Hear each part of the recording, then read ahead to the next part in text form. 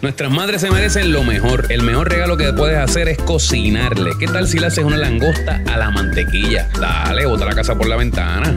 Lo primero es que vas a hervir dos rabitos de langosta por 6 minutos. No más de eso, no los queremos sobrecocinar. Las sacas del agua y las cortas a la mitad. Separas la carne del caparazón. En un sartén a temperatura alta añades aceite y le pones mantequilla. Vas a poner los rabos de langosta del lado de la carne a dorar. Lo vas a cocinar ahí por lo menos 4 minutos más. Oye, y el truco, le vas a agregar un toquecito de limón y también le pones un toque de ajo molido. Le puedes agregar más mantequilla y estamos gozando. Mientras tanto hacemos un majadito de malanga. Una vez la malanga mondada la cortas en cuadritos y la hierves hasta que esté blandita. Le quitas la mayoría del agua y le dejas por lo menos un cuarto de taza. Le vas a agregar un cuarto de taza de heavy cream, un toque de ajo molido a gusto, un toquecito de mantequilla y sal. Ahora la maja y mira cómo queda eso.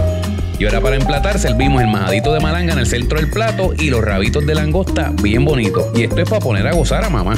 Y así es que quedan estos rabitos de langosta, Corillo. Una delicia. Recuerda que estos rabos de langosta los consiguen en el mejor lugar, en el Rey de los Mariscos y mucho más, Plaza Loíza. Buen provecho.